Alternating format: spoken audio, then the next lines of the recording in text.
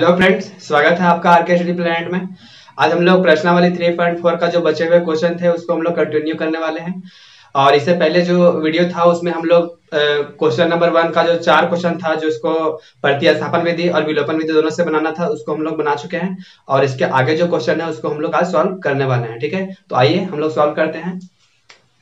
देखिए क्वेश्चन जो है, दूसरा नंबर है कि निम्न समस्याओं में रैखिक समीकरण के युग बनाइए। और उनके हल यदि उनका अस्तित्व हो तो विलोपन विधि से ज्ञात करिए। यानी कि देखिए, ये जो यहाँ पे कथन कुछ दिया गया है, कुछ स्टेटमेंट दिया गया, कुछ क्वेश्चन है यहाँ पे तो उसको जो है पढ़ना है और उसमें पढ़ के हम लोग को रेखी समीकरण बनाना है। और रेखी समीकरण जब बन जाए तो देखना है कि क्या उसका अस्तित्व है। यानी कि अस्तित्व कब होता है? जब हम लोग जानते हैं कि जब A one by A two not equal to B one by B two हो, ठीक है? तो इस स्थिति में इसका अस्तित्व होता है, ठीक है? तो देखेंगे कि उसका अस्तित्व है या नहीं है तो अस्तित्व होगा तो इसको हम लोग आगे सॉल्व करेंगे, ठीक है? तो नीचे जितना भी क्वेश्चन जो है, सारा का जो है अस्तित्व है, ठीक है? इसलिए जो है हम लोग आगे इसको सॉल्व करने वाले हैं। तो देखिए क्वेश्चन जो है, पहला क्या है कि यदि हम अंश में एक जोड़ दे तथा हर में एक घटा दे तो वह भिन्न एक में बदल जाती है। यदि हर में एक जोड़ दे तो यह एक बटा दो हो जाती है तो वह भिन्न क्या है? तो सबसे पहले देखिए, हम लोग जानते हैं कि भिन्न कहते किसको है, ठीक है? अगर कोई भी संख्या जो है, हर और अंश के रूप में लिखा गया है, ठीक है? मान के चलिए, मेरे पास कोई संख्या है टू बाय थ्री है, ठीक है? एक संख्या मेरा पास है टू बाय थ्री और ये टू बाय थ्री जो है, वो टू यहाँ पे देखिए, ये अंश हो गया हमारा, ठीक है? और हर हो गया. तो इसको हम लोग क्या बोलेंगे? भिन्न बोलेंगे, ठीक है? तो भिन्न यानी कि टू यानी कि दो बटा तीन जो है यह क्या हो गया? एक हमारा भिन्न हो गया. तो क्या भिन्न है वो हमको पता नहीं है। सिर्फ़ यहाँ बोला जा रहा है कि अगर किसी भिन्न में, यदि अगर किसी भिन्न के अंश में एक जोड़ दे तथा हर में से एक घटा दें तो भिन्न जो है एक में बदल जाती है, ठीक है? और यदि हम हर में एक जोड़ दे तो यह एक बटा दो हो जाती है तो वह भिन्न क्या है उसको हमको निकालना है। तो देखिए, हम लोग क्या कर सकते हैं यहाँ पे? मान लेंगे कि ये जो है भिन्न हमको पता नहीं है कितना है, ठीक है? तो इसको हम लोग x बाय वाई मान लेते हैं, ठीक है? तो लिखेंगे माना माना वह भिन्न माना वह भिन्न कितना होगा? x बाय वाई ठीक है? x बाय वाई मान लिए हैं। अब जैसा जैसा प्रश्न बोलेगा, हम लोग ऐसा ही करते चलेंगे। तो प्रश्नानुसार, देखिए क्या बोला गया है कि यदि अंश में एक जोड़ दे, चलिए हम लोग अंश में एक जोड़ देते हैं। देखिए, अंश में एक जोड़ दिए। तथा हर में एक घटा दे। तो देखिए, हर में एक घटा दिए। तो वह भिन्न जो है, एक में बदल जाती है। ठीक है? ये हमारा पहला जो था स्टेटमेंट उससे ये समीकरण निकल के आया है। तो जब हम लोग इसको आगे सॉल्व करेंगे, देखिए, इसके लिए जब हम लोग वन लिख सकते हैं। जब हम लोग क्रॉस मल्टीप्लिकेशन गुना करेंगे तो ऐसे लिखा जाएगा। यानी कि x प्लस वन बराबर होगा y माइनस वन ठीक है? देखिए, ये वन से मल्टीप्लाई होगा तो y माइनस वन ही रहेगा। और ये भी जब वन से मल्टीप्लाई होगा तो x प्लस वन ही रहेगा। अब क्या करेंगे? देखिए, x हो गया, ये प्लस में है, ठीक है? y इधर आके माइनस में हो गया, और ये माइनस वन हो गया, और इधर आके माइनस वन ये प्लस वन था तो इधर आके माइनस वन हो गया। तो ये हो गया x माइनस वाई बराबर माइनस टू ये हमारा समीकरण फ़र्स्ट आया। उसके बाद देखिए, क्या बोला जा रहा है? अगला। अगला जो है क्या है कि यदि हर में से एक जोड़ दे, ठीक है? अगर हम लोग को क्या करना है? जो भिन्न था हमारे पास उसमें क्या करना है कि हर में एक जोड़ देना है। देखिए, यहाँ बोल रहा है कि हर में एक जोड़ दीजिए। तो हर में एक हमने जोड़ दिया। यदि हर में एक जोड़ दे तो यह एक बटा दो हो जाती है। तो यह जो है, एक बटा दो हो जाती है। ठीक है? तो वह भिन्न क्या है, उसको हमको निकालना है। तो हम हम लोग जब इसको क्रॉस मल्टीप्लिकेशन गुना करेंगे, यानी कि इसको इससे मल्टीप्लाई करेंगे तो टू इंटू एक्स तो टू एक्स हो जाएगा। आज को जब मल्टीप्लाई करेंगे तो वाई प्लस वन ही रहेगा। ठीक है? तो अब क्या होगा? ये टू एक्स ये प्लस है वाई इधर आके क्या हो गया? माइनस वाई बराबर से यहाँ पे वन हो गया ठीक है? अब देखिए हमारे पास जो दो समीकरण आके निक, निकल चुका है यहाँ पे दो समीकरण आया है। एक समीकरण है एक्स माइनस वाई बराबर माइनस टू और दूसरा जो है टू एक्स माइनस वाई बराबर वन है। अब क्या कर सकते हैं? देखिए, यहाँ पे भी y है और यहाँ पे भी y है। यानी कि ये दोनों टर्म जो है वो बराबर है, ठीक है? तो हम लोग बोल सकते हैं कि अगर हम लोग समीकरण वन और टू को सिर्फ़ घटा दें, घटाने पर ये चिन्ह चेंज हो जाएगा। एक वैल्यू y का प्लस माइनस में रहेगा, दूसरा y जो है प्लस में हो जाएगा तो ये दोनों जो है वो कर सकता है। तो हम लोग को ऐसे भी विलेपन विधि से ही आगे सॉल्व करना है। तो क्या करेंगे? हम लोग लिखेंगे यहाँ पे समीकरण समीकरण वन और टू को घटाने पर। घटाने पर, ठीक है? सिर्फ़ यहाँ पे घटा रहे हैं। यहाँ पे देखिए तो क्या हो जाएगा यहाँ पे देखिए, x प्लस वाई बराबर है माइनस टू है, ठीक है? x प्लस वाई बराबर माइनस टू है, पहला समीकरण। दूसरा जो है वो कितना है? टू एक्स माइनस वाई बराबर कितना है? यहाँ पे वन है, ठीक है? अब चीज़ हम लोग चेंज कर रहे हैं तो यहाँ प्लस है तो यहाँ माइनस हो गया, यहाँ माइनस हो तो यहाँ प्लस हो गया, यहाँ प्लस है तो यहाँ पे माइनस हो गया। देखिए y का वैल्यू प्लस में है एक y का वैल्यू यहाँ पे माइनस था सॉरी x माइनस वाई बराबर देखिए x माइनस वाई बराबर माइनस टू है ठीक है? तो एक वैल्यू जो है वो माइनस में है दूसरा वैल्यू जो है वो प्लस में है तो ये कट गया. प्लस माइनस माइनस यहाँ पे घट जाएगा तो यहाँ क्या, क्या बचेगा? सिर्फ़ x बचेगा ठीक है? और ये भी घट गया तो यहाँ पे क्या बच गया? यहाँ पे ये यह देखिए माइनस माइनस यहाँ पे क्या हो जाएगा? प्लस हो जाएगा ठीक है? तो यहाँ हो गया माइनस थ्री टू और वन कितना हो जाएगा थ्री बड़ा था यहाँ पे, दो दो के पास माइनस था तो ये माइनस थ्री हो गया।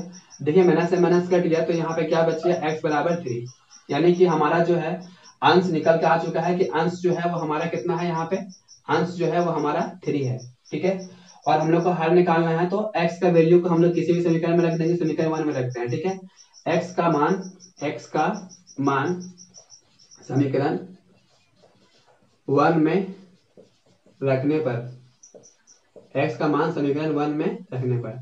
देखिए समीकरण मान यहाँ पे ये है तो x जहाँ वहाँ पे हम लोग थ्री को रख दे रहे हैं, ठीक है? थ्री माइनस वाई बराबर हो गया माइनस टू तो यहाँ पे क्या हो जाएगा देखिए, ये माइनस टू है, इधर इसको कर देते हैं, क्या हो जाएगा प्लस टू ठीक है? ये प्लस टू हो गया। अरे माइनस वाई था, इधर कर दिए तो ये हो गया। क्या हो गया, बराबर के हम लोग इस साइड में भेज दिए।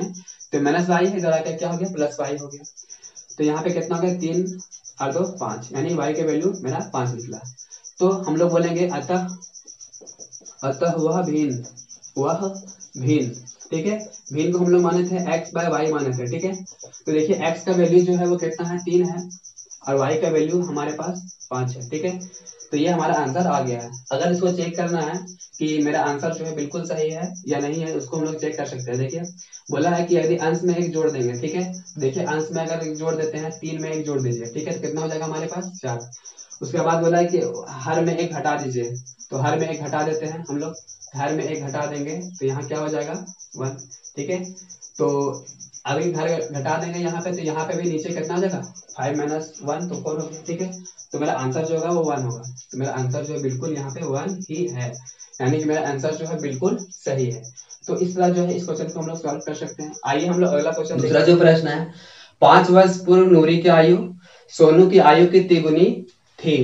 दस वर्ष के बाद यानी के पश्चात नूरी की आयु सोनू की आयु की दो गुनी हो जाएगी तो नूरी और सोनू की आयु ज्ञात करिए, यानी कि उनका जो अभी का आयु है, यानी वर्तमान का आयु है, उसको निकालना है। ठीक है? तो देखिए, हम लोगों को यहाँ पे उनके वर्तमान आयु तो पता नहीं है, ठीक है? तो हम लोग क्या मान लेंगे ज़रिए इसको हम लोग हल करते हैं। लिखेंगे, माना, नूरी और सोनू की वर्तमान आयु वर्तमान, आयु कर्मशा ठीक है? कर्मशा मतलब सबसे पहले किसका लिखे हम लोग? सोनू नूरी का, ठीक है? तो हम लोग नूरी का आयु को हम लोग एक्स मान लिए हैं और उसके बाद है देखिए सोनू तो सोनू का हम लोग मान लिए हैं वाई ठीक है? तो उन उन लोग दोनों का वर्तमान आयु जो है, एक का एक्स है, दूसरा का वाई है, ठीक है? हम लोग प्रश्नानुसार बनाएँगे, प्रश्नानुसार। देखिए, प्रश्न में बोला गया कि पाँच वर्ष पूर्व, ठीक है? तो अभी हम लोग इनका वर्तमान आयु का एक्स और वाई मान ली है, ठीक है? तो इनका अभी वर्तमान आयु जो है, एक का एक्स है, दूसरा का वाई है। उसके बाद जो है, पाँच वर्ष पूर्व बोला बोला कि पाँच वर्ष पूर्व मतलब पाँच वर्ष पहले। तो क्या करना पड़ेगा हम लोग को? यहाँ पे पाँच वर्ष दोनों में क्या कर दिए हम लोग? घटा दिए, ठीक है? इसमें से भी पाँच वर्ष दोनों में घटा दिए। दोनों जो है, पाँच वर्ष पीछे चला गया, ठीक है? यानी कि दोनों का आयु जो है पाँच पाँच वर्ष हम लोग कम कर दिए। तो पाँच वर्ष पूर्व नूरी की आयु सोनू की आयु की तिगुनी थी। तो ये हमारा नूरी का आयु हो गया और ये सोनू का आयु हो गया तो इसका जो है तिगुना है, ये हमारा क्वेश्चन में बोला। तिगुना मतलब तीन गुना कर दिए ठीक है? तो देखिए, इस इस स्टेटमेंट से हमारा क्या समीकरण निकल के आता है, इसको सॉल्व करते हैं तो क्या होगा? X माइनस फाइव बराबर, ये थ्री इंटू वाई तो थ्री वाई हो जाएगा। अब प्लस माइनस माइनस पाँच दिया पंद्रह, ठीक है? हम लोग जब इसको आगे सॉल्व करेंगे तो x ये प्लस में इधर आके माइनस में थ्री वाई हो गया। और यहाँ पे माइनस पंद्रह है और ये माइनस में तरह क्या हो जाएगा? प्लस में। तो यहाँ पे हमारा जो समीकरण निकला है एक्स माइनस थ्री वाई बराबर पंद्रह में से पाँच जो है घट जाएगा। तो कितना हो जाएगा? दस। लेकिन माइनस में होगा क्योंकि पंद्रह जो है यहाँ पे माइनस में है। तो ये हमारा समीकरण पहला निकल कर आ गया। हम लोग दूसरा देखते हैं। दूसरा में क्या बोला था? दूसरा में बोला था कि दस वर्ष के बाद तो हम लोग क्या करेंगे? दोनों का आयु में दस वर्ष जोड़ देंगे। ठीक है? दोनों का आयु जो है दस दस वर्ष हम लोग क्या कर दिए? ऐड कर दिए, जोड़ दिए।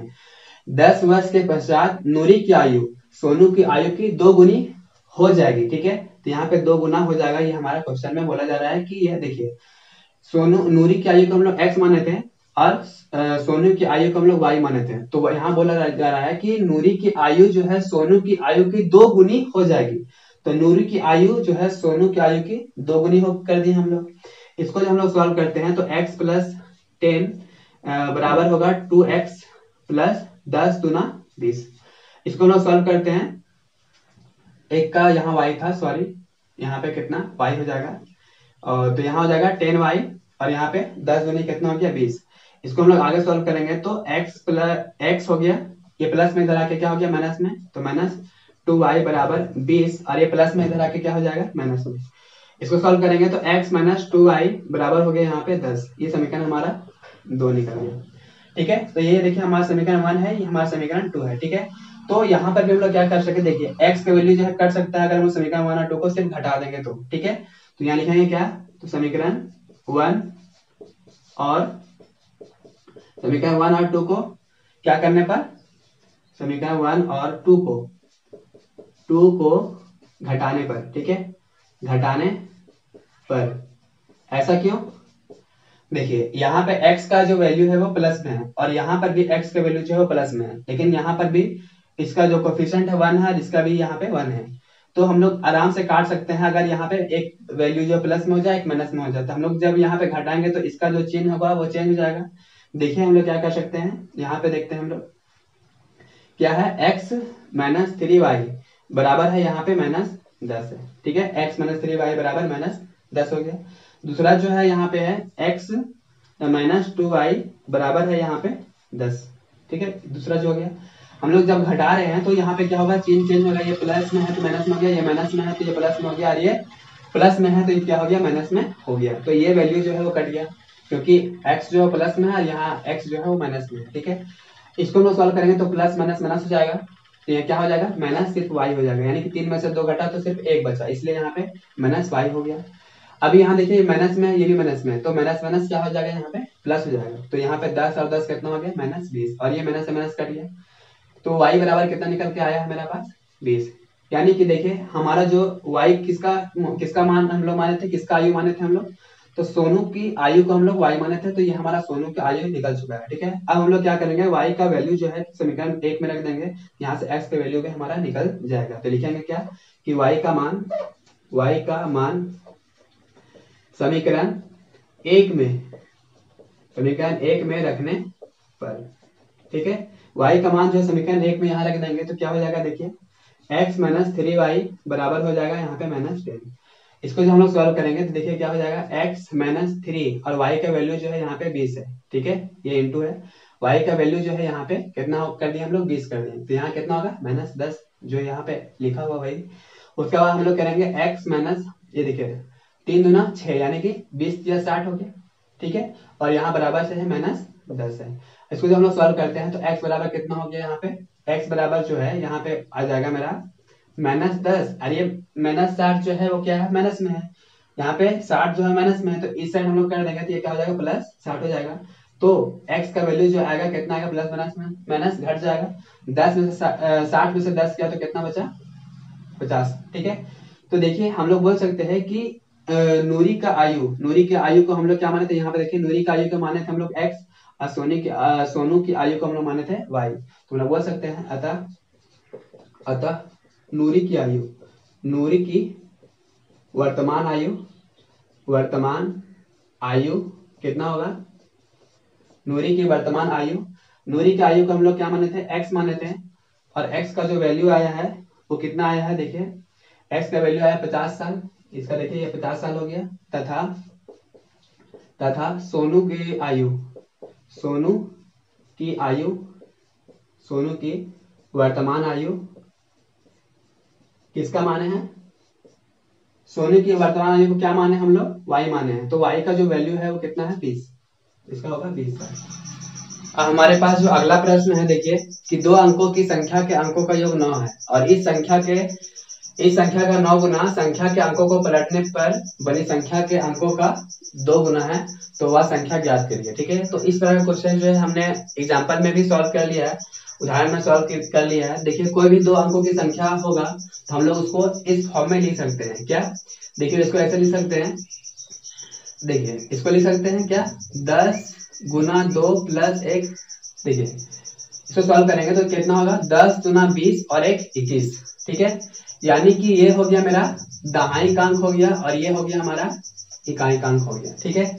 तो ये संख्या जो है वो हमको मालूम है ही नहीं कि ये संख्या क्या है ठीक है? तो इस संख्या को जब हम लोग इसको हम लोग एक को हम लोग x मान लेंगे और दूसरा को हम लोग क्या मान लेंगे? यहाँ पे y मान लेंगे।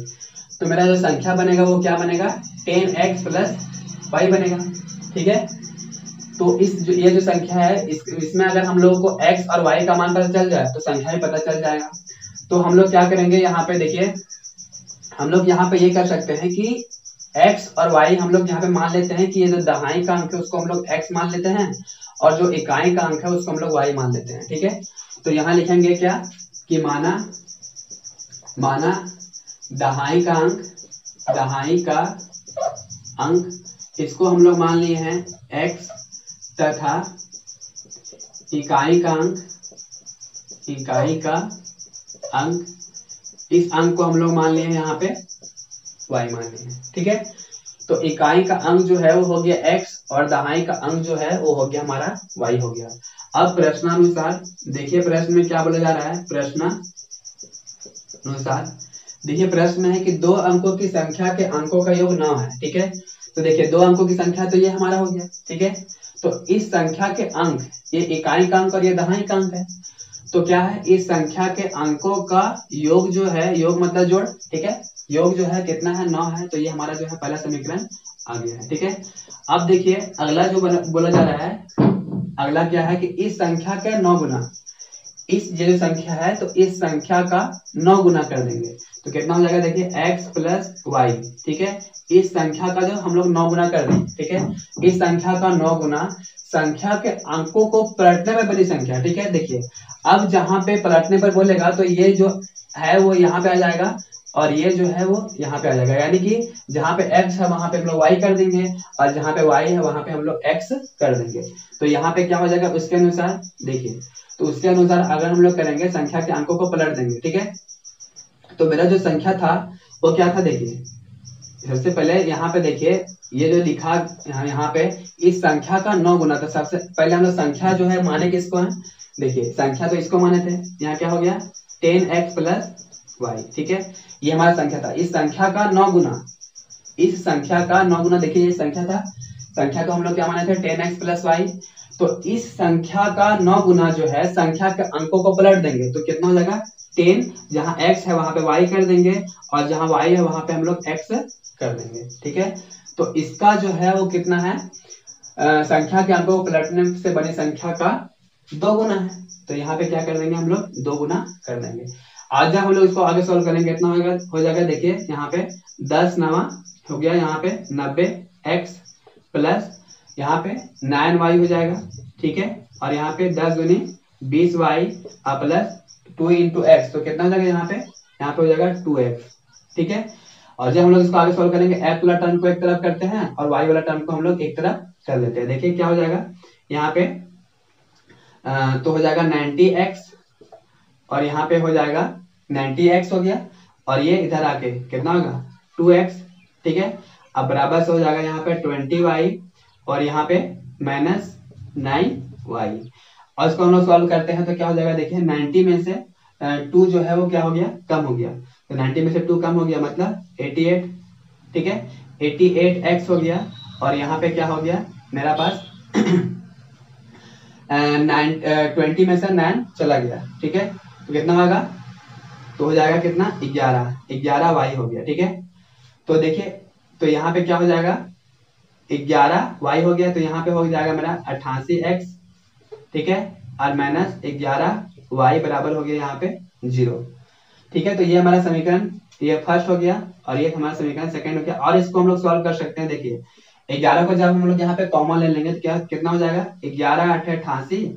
और यहाँ ग्यारह कॉमन हो गया तो यहाँ पे सिर्फ़ बाई बच गया, बराबर से ज़ीरो ठीक है? और जब हम लोग आगे सॉल्व करेंगे तो क्या हो जाएगा? कि देखिए, ये मल्टीप्लाई में इधर के डिवाइड में हो जाएगा। यानी कि हम लोग लिख सकते हैं एट एक्स माइनस वाई बराबर हो गया यहाँ पे ज़ीरो और ये मेरा समीकरण टू हो गया, ठीक है? देखिए, ये मल्टीप्लाई में था, ये इधर आके डिवाइड में हो गया मतलब ज़ीरो बाई इलेवन मतलब ज़ीरो हो गया, ठीक है? तो ये मेरा समीकरण, देखिए, अब समीकरण वन और टू को सिर्फ़ डायरेक्ट हम लोग क्या करना है? घट, जोड़ देना है तो देखिए, एक वैल्यू जो है यहाँ पे y प्लस में है और दूसरा वैल्यू जो है यहाँ पे माइनस में है। तो क्या करेंगे? डायरेक्ट हम लोग समीकरण वन को समीकरण वन और टू को क्या करने पर? समीकरण वन और टू को क्या कर देंगे हम लोग? जोड़ेंगे, ठीक है? जोड़ने पर। तो देखिए जोड़ रहे हैं यहाँ पे, समीकरण वन मेरा यहाँ पे, ये है, समीकरण टू यहाँ पे है। तो क्या हो गया? एक्स प्लस वाई बराबर हो गया नाइन और दूसरा जो हो गया वो कितना हो गया? एट एक्स माइनस वाई बराबर हो गया ज़ीरो ये टर्म कट गया, ठीक है? आठ और एक कितना हो गया यहाँ पे? नाइन एक्स बराबर हो गया यहाँ पे नाइन ठीक है? नाइन से नाइन भी चला गया तो एक्स बराबर हो गया यहाँ पे कितना? वन एक्स का वैल्यू वन आया है, इसका वैल्यू जो है हम लोग यहाँ पे रख देंगे तो यहाँ पे वाई का वैल्यू निकल जाएगा। यानी कि एक्स का मान एक्स का मान समीकरण किसमें रखने पर? वन में रखने पर। समीकरण वन में रख देंगे एक्स का वैल्यू यहाँ क्या हो जाएगा? वाई वन प्लस वाई बराबर से हो जाएगा नाइन ठीक है? और वाई बराबर करेंगे तो यहाँ कितना हो जाएगा? नाइन इधर प्लस में इधर माइनस में, यानी वाई बराबर कितना हो गया? एट ठीक है? तो हम लोग बोल सकते हैं अतः अतः अभिष्ट संख्या, अभिष्ट अभिष्ट संख्या यानी कि जो हमको संख्या चाहिए था, उसको हम लोग माने थे टेन एक्स प्लस वाई माने थे। ठीक है? तो देखिए टेन और एक्स का वैल्यू जो है यहाँ पे कितना है? वन ठीक है? और वाई का जो वैल्यू है वाई का जो वैल्यू है वो कितना है? एट ठीक है? तो हमारा जो आंसर होगा वो कितना होगा? दस एक दस और आठ कितना हो गया? अठारह। यानी कि वो जो नंबर था वो कितना था? अठारह था। और ये मेरा आंसर हो गया। यही पूछ रहा था कि वह संख्या ज्ञात करिए तो वह संख्या कितना होगा? हमारा अठारह होगा। और ये जो क्वेश्चन था, इसको हम लोग प्रूव भी कर सकते हैं मतलब जाँच कर सकते हैं। देखिए, दोनों संख्या के अंकों का योग क्या नौ है? तो यहाँ आठ हरे कितना है? आइए हम लोग अगला प्रश्न देख लेते हैं। देखिए क्या है कि मीना दो हज़ार रुपये का नोट निकालने के लिए एक बैंक गई। उसने खंजासी से पचास रुपए तथा सौ रुपए के नोट देने के लिए कहा। मीना ने कुल पच्चीस नोट प्राप्त किए। ज्ञात कीजिए कि उसने पचास रुपये और सौ रुपए के नोटों के कितने कितने नोट प्राप्त किए। यहाँ पे कहने का मतलब ये है कि यहाँ पे जो क्वेश्चन बोला गया है कि मीना एक लड़की है और वो क्या गई है? बैंक गई है, ठीक है? पैसा उसका अकाउंट में था सेविंग अकाउंट में उसको निकालने के लिए गई है। तो उसने जो कैशियर था, खंजाची था, उससे बोला कि सिर्फ़ हमको पचास रुपए और सौ रुपए वाले नोट ही चाहिए, ठीक है? और कुल मिला करके हमको जो है सिर्फ़ दो हज़ार रुपए चाहिए। और ये नोट जो है सिर्फ़ सौ रुपए और पचास रुपए के ही होने चाहिए, ठीक है? तो उसको कैशियर ने कुल पचास रुपये और सौ रुपये वाले दोनों के नोट को मिला करके जो है, कुल उसको पच्चीस नोट ही दिए हैं, ठीक है? तो इसको जो है हमको निकालना है। कि कैशियर ने उसको पचास रुपए के कितने नोट दिए और सौ रुपए के कितने नोट दिए तो हम लोग क्या करेंगे, मानेंगे? देखिए, माना पचास रुपए वाले नोटों की संख्या, पचास रुपए वाले नोटों की संख्या को हम लोग एक्स मान लेते हैं। एक्स ठीक है, तथा सौ रुपए, ठीक है, सौ रुपए वाले नोटों की संख्या, नोटों की संख्या, इसे हम लोग क्या मान लिए हैं? वाई मान लिए हैं, ठीक है?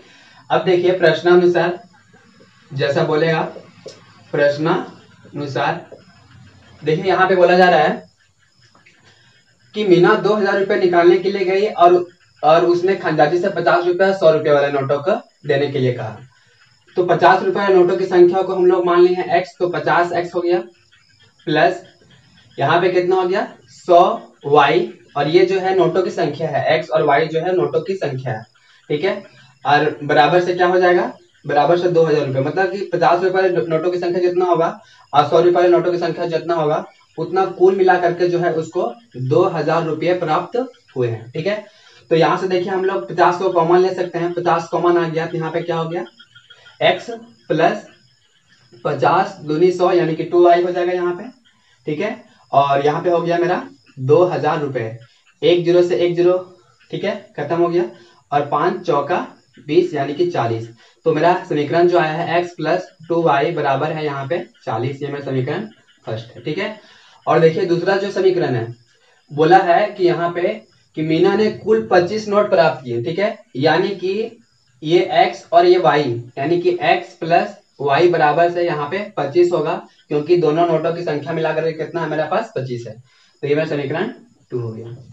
अब देखिए, हम लोग यहाँ पे समीकरण वन और टू को अगर हम लोग घटा दें तो यहाँ पे देखिए ए एक्स का वैल्यू जो है प्लस में है, और यहाँ पे एक्स का वैल्यू जो है किसमें है? ये भी प्लस में है। तो घटाने पर इसका इसका जो मान है नीचे समीकरण दो का, यहाँ पे जो प्लस और माइनस जो है, वो चेंज चेंज होने वाला है।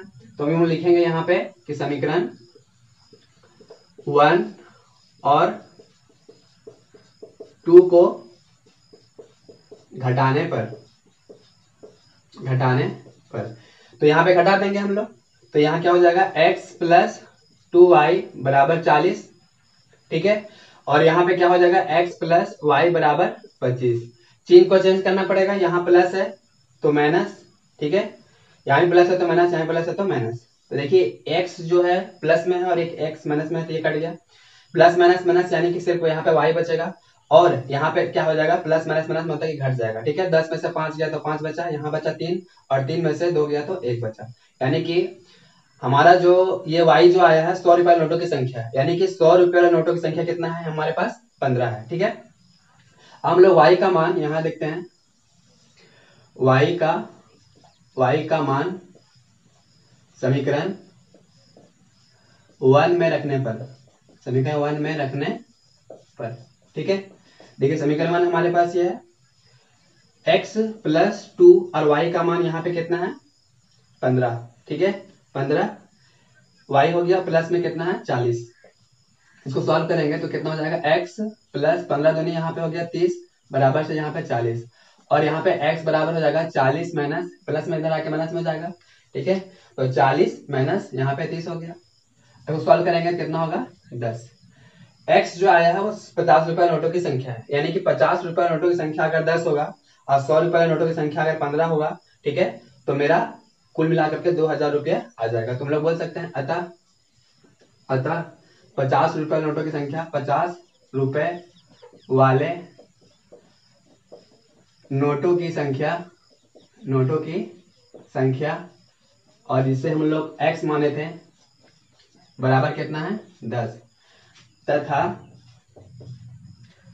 सौ रुपये वाले नोटों की संख्या, सौ रुपये वाले नोटों की संख्या, नोटों की संख्या, इसको हम लोग y माने थे, और y बराबर कितना आया? देखिए, कितना है यहाँ पे? पंद्रह। ठीक है? ये मेरा हो गया। इसको हम लोग चेक भी कर सकते हैं। देखते हैं, देखिए। बोला है यहाँ पे कि सौ रुपए नोटों की संख्या, देखिए, सौ रुपए पचास रुपए नोटों की संख्या कितना आया है? दस। यानी कि पचास गुना दस बराबर हो जाएगा यहाँ पे पाँच सौ रुपए ठीक है? और यहाँ पे सौ रुपए वाले नोटों की संख्या कितना है? सौ रुपए वाले नोटों की संख्या यहाँ पे, देखिए, सौ रुपए के नोटों की संख्या, यानी कि वाई का मान। तो वाई का मान यहाँ पे पंद्रह है। ठीक है? तो कितना हो जाएगा यहाँ पे? पंद्रह सौ रुपए ठीक है? पंद्रह सौ रुपए और क्या दोनों का ऐड करने पर दो हज़ार नहीं आएगा? तो यहाँ पे सॉल्व करेंगे, इसको ऐड करेंगे, कितना हो जाएगा? दो हज़ार रुपए। मेरा आंसर बिल्कुल सही है। ऐसा हम लोग चेक कर सकते हैं। तो ये क्वेश्चन जो है इस तरह सॉल्व हो जाता है। देखते हैं अगला क्वेश्चन आइए, हम लोग प्रश्नावली 3.4 का सबसे लास्ट जो क्वेश्चन है, उसको हम लोग देख लेते हैं।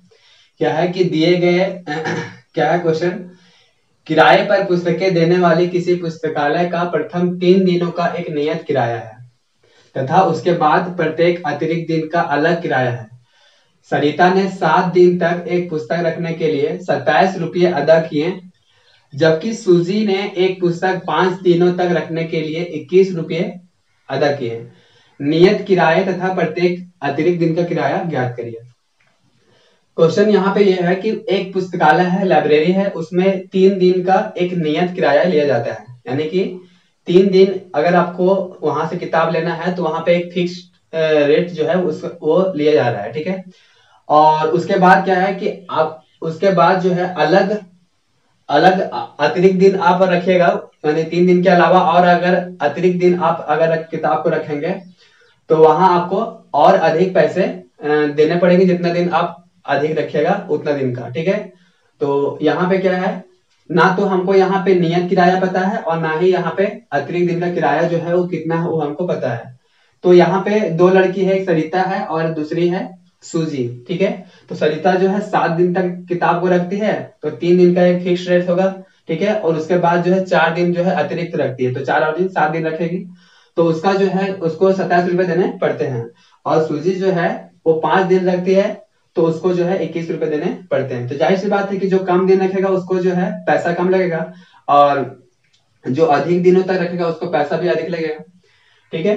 तो यहाँ पे हम लोग को मानना पड़ेगा, मान लेंगे कि नियत किराया कितना है तीन दिनों का, उसको हम लोग एक्स मान लेंगे, और जो अतिरिक्त दिन का किराया है उसको हम लोग वाई मान लेंगे। तो आइए हम लोग इसको सॉल्व करते हैं। देखिए, माना माना, क्या करेंगे कि माना तीन दिन का, ठीक है, यहाँ पे दिया गया तीन दिन का तो माना तीन दिन का, तीन दिनों का, तीन दिनों का नियत किराया, तीन दिनों का नियत, किराया, इसे हम लोग क्या मानेंगे?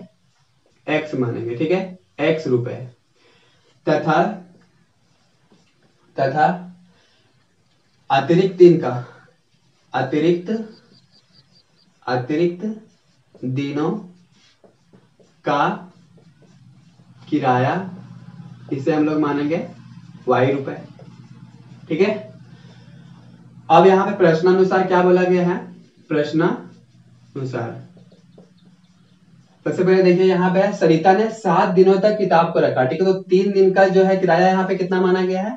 एक्स रुपया, ठीक है? तो एक्स रुपया यहाँ पे हो गया। ये तीन दिन इसमें चला गया, ठीक है? एक्स में तीन दिन चला गया तो बचा कितना दिन? सात दिन में तीन दिन चला गया तो बचा चार दिन, ठीक है? तो यहाँ पे कितना हो जाएगा? अतिरिक्त दिन कितना हो गया? फोर तो यहाँ पे कितना होगा? फोर वाई ठीक है? देखिए, चार दिन यहाँ पे।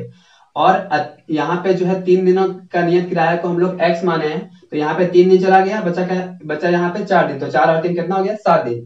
और सात दिन के लिए उसे जो है कितना देना पड़ता है? सत्ताईस रुपए देने पड़ते हैं। ये मेरा समीकरण फ़र्स्ट हो गया। उसके बाद जो है सूजी ने एक पुस्तक पाँच दिनों तक रखने के इक्कीस रुपए अदा किए। पाँच दिनों तक तो तीन दिन तो यहाँ एक्स हो गया, ठीक है? और पाँच दिन तो तीन चला गया तो बचा दो, यानी कि टू वाई ठीक है? तीन और दो पाँच हो गया। और यहाँ पे कितना देना पड़ेगा उसको? इक्कीस रुपए देना पड़ेगा और ये मेरा समीकरण टू हो गया। तो इसको विलोपन विधि से हमको हल करना है। देखिए यहाँ पे एक्स जो है बराबर है यहाँ पे। सिर्फ़ हम लोग यहाँ पे समीकरण वन और टू को घटा देंगे। तो क्या लिखेंगे? समीकरण वन और टू को। समीकरण वन और टू को घटाने पर। घटाने पर। ठीक है? तो घटाने पर क्या हो जाता है? चिन्ह को चेंज करना पड़ता है। यानी कि जो प्लस होता है वो माइनस हो जाएगा और जो माइनस में होगा वैल्यू वो हमारा प्लस में हो जाएगा, ठीक है? देखिए, ये प्लस में है एक्स तो यहाँ हो गया माइनस, ये प्लस में है, ये माइनस और ये भी प्लस में है तो ये माइनस हो गया। तो ये यहाँ से कैंसिल हो जाएगा, कट जाएगा और यहाँ प्लस माइनस माइनस हो गया। चार में से दो गया तो बचा दो आई ठीक है? बड़ा यहाँ पे चार है तो यहाँ पे प्लस हो गया। और इसमें घटाएँगे तो यहाँ पे कितना बचेगा? छ, ठीक है? तो यहाँ पे दो दिया छ तो वाई का जो वैल्यू आया है वो कितना है? वाई का वैल्यू यहाँ पे तीन है। और हम लोग जब यहाँ पे y का मान, y का मान हम लोग समीकरण समीकरण वन में रख देंगे, ठीक है? समीकरण वन में रखने पर तो देखिए क्या हो जाएगा, समीकरण वन यहाँ पे है, y का वैल्यू रख देते हैं। x प्लस फोर और y का वैल्यू यहाँ पे थ्री है तो यहाँ पे कितना हो जाएगा? थ्री रख देंगे। यहाँ पे कितना हो गया? सताइस देखिए, ये समीकरण था जहाँ वाई था, वहाँ हमने थ्री रख दिया, क्योंकि y बराबर यहाँ पे थ्री है। तो यहाँ पे इसको सॉल्व करेंगे तो x प्लस चार दिया कितना हो गया? बारह बराबर से सत्ताईस है। तो x बराबर करेंगे तो कितना हो जाएगा? सत्ताईस माइनस बारह। और इसको जब हम लोग हटाएँगे तो कितना बचेगा यहाँ पे? सात। यहाँ पाँच सात से दो गया तो बचा पाँच। ठीक है? और दो में से एक गया तो एक, यानी कि सत्ताईस में से बारह घटाएँगे तो पंद्रह। तो हमारा जो आंसर होगा, पंद्रह क्या है ये? पंद्रह रुपए जो है, तीन का किराया है, ठीक है? तो मानेंगे अतः, लिख सकते हैं यहाँ पे, अतः, कि तीन दिन का, तीन दिनों का, अतः, तीन दिनों का नियत, तीन दिनों का नियत नियत किराया जो है, वो कितना है? पंद्रह रुपए पंद्रह रुपए तथा अतिरिक्त दिनों का ठीक है? अतिरिक्त अतिरिक्त दिनों का किराया, इसको हम लोग मानेंगे वाई रुपए माने थे हम लोग, अतिरिक्त दिन का तो ये हो गया तीन, ठीक है? तो ये होगा तीन। तो हमारा जो आंसर होगा कि नियत किराया कितना है तो पंद्रह रुपए है, और अतिरिक्त किराया जो है वो कितना है? अतिरिक्त किराया जो है वो तीन रुपए है, ठीक है? तो यहाँ से हम लोग पता भी कर सकते हैं। देखिए, यहाँ पे बोला गया था कि x प्लस फोर वाई देखिए, यहाँ पे अगर हम लोग वैल्यू पुट करेंगे तो सही में जो है सताइस आना चाहिए तो हमारा जो आंसर सही माना जाएगा। तो x का वैल्यू यहाँ पे है पंद्रह, देखिए, पंद्रह लिख दिए प्लस कितना है? फोर वाई तो फोर और y के जगह पे, यहाँ पे तीन है, ठीक है? तो इसको सॉल्व करेंगे पंद्रह और चार क्या हो गया? कितना? बारह, ठीक है? इसको ऐड करेंगे तो पूरा, पूरी सत्ताईस आ जाएगा। तो हम लोग बोल सकते हैं कि तीन दिनों का नियत किराया पंद्रह रुपए और अतिरिक्त दिनों का किराया तीन रुपए ठीक है? तो इस तरह जो है प्रश्नावली थ्री पॉइंट फोर भी खत्म हो जाता है। तो उसके बाद हम लोग देखेंगे, जो प्रश्नावली थ्री पॉइंट फाइव है, उसमें हम लोगों को वज्र गुणन विधि सीखना है तो हम लोग उसमें, हम लोग आगे वीडियो में इसको देखने वाले हैं, ठीक है?